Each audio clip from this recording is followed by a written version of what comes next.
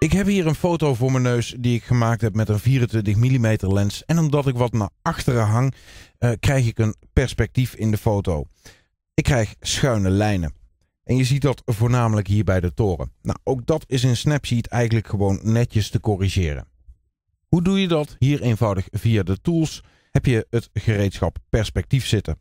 En als je daarop klikt, dan krijg je het volgende voor je. Je hebt verschillende modussen. Je vindt de modus hieronder. Je hebt horizon aanpassen, draaien, schalen en een vrije transformatie. Ik loop ze dadelijk even alle drie met je door. Je hebt de opvullingmodus. Daar kom ik straks ook nog op terug. En je hebt de optie automatisch. Nou, laat ik eens op automatisch klikken en kijken wat hij ervan maakt. Dit is natuurlijk gewoon geen goede correctie. Dit is niet wat ik wil. Automatisch kwam hij hier dus gewoon niet uit. Dus ik klik even op het kruisje en ik ga gewoon terug naar perspectief en ik doe het opnieuw en ik ga het handmatig doen. Nou, wat ik ga doen, dat is gewoon het allereenvoudigste. Ik ga de horizon aanpassen. En als je daarop klikt, dan krijg je twee opties. Je hebt de opties voor boven en beneden en de opties voor links en rechts. En als je nou gewoon op je foto naar boven of beneden schuift of naar links en naar rechts, dan zie je dat je je foto eigenlijk gaat kantelen. Je kunt hem helemaal van je wegdraaien dan wordt het effect nog veel erger. Of je kunt hem naar je toe draaien en dan zie je dat eigenlijk het perspectief veel beter gaat kloppen. En je kan eventueel ook nog naar links en naar rechts draaien. Mocht je die afwijkingen hebben. Maar je ziet dat eigenlijk de foto gewoon geheel intact blijft. Althans, daar lijkt het op.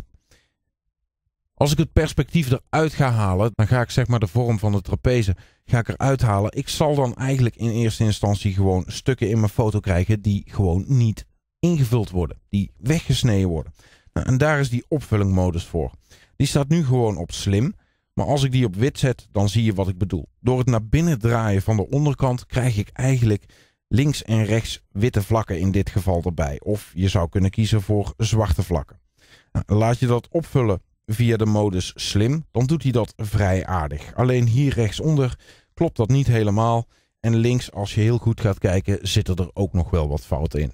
Het zou goed werken bij effen vlakken, maar niet bij dit soort constructies. Geen probleem. Ik hou dit gewoon even op wit, want dat kijkt het lekkerst. En ik ga terug naar de modus en ik ga naar de modus schalen. En ik ga hem eigenlijk gewoon een klein beetje groter maken. En dat gaat voornamelijk over de breedte. Maar als ik het heel overdrijf, krijg ik een hele dikke kerk. Dus ik wil ook gewoon in de hoogte wat dingen doen. En ik, voor mijn gevoel, kloppen de verhoudingen in dit geval wel weer. Alleen de onderkant van de kerk valt eraf en daar ben je ook niet echt op uit. En in de optie vrij kan ik namelijk gewoon vanuit het midden die hele foto in één keer een stuk omhoog plaatsen. Net zolang totdat ik het witte randje daar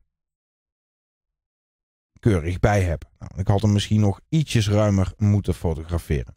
Maar dat maakt niet uit. Je kunt ook zeggen van terug naar de modus schalen. En ik maak hem juist wat kleiner. En dan snij ik er dadelijk gewoon nog heel die witte ruimte af. Daar kun je ook voor kiezen. Nou, en tot slot hadden we nog de modus draaien. En dat spreekt voor zich natuurlijk. Je kunt gewoon je foto dan een klein beetje roteren. Nou, laat ik hem op zich eens zo houden. Zo vind ik de verhoudingen wel aardig. Dus ik klik gewoon op het vinkje. En eventueel ga ik dus nog gewoon bij bijsnijden in de originele verhoudingen zeggen van nou, weet je wat? Haal er nog een klein beetje af.